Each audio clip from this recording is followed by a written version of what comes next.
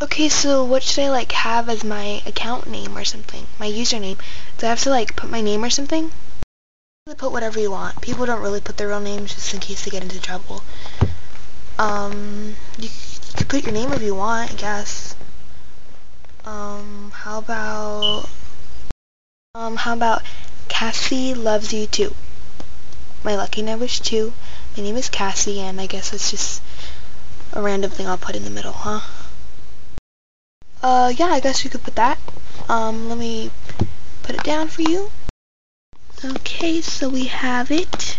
Your account name is Cassie loves you too. And so let's just start filling out your um file. Okay? Um, let's see. Question number one. Question number one. Let's see. Name. Cassie Bloomfield. Gender. Female. Age. 16. Favorite color. Pink. Let's see. Um, relationship status. Single. um, have any family members? Yes, one mother and one older brother that is in the army. Okay, let me just put that down. Okay, almost done. Now all we need is your profile pic.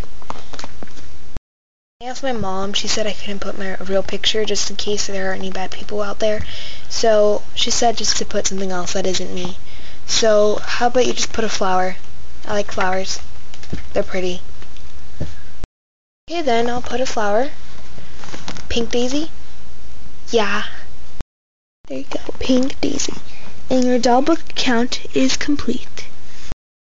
What's your account name? Savvy101. Okay. Um, so I guess I can message you later on, and hopefully you'll get new friends. Yay! Yeah, hopefully. Well, I gotta go. I'm running late. Um, see you at school tomorrow? Yeah. Bye.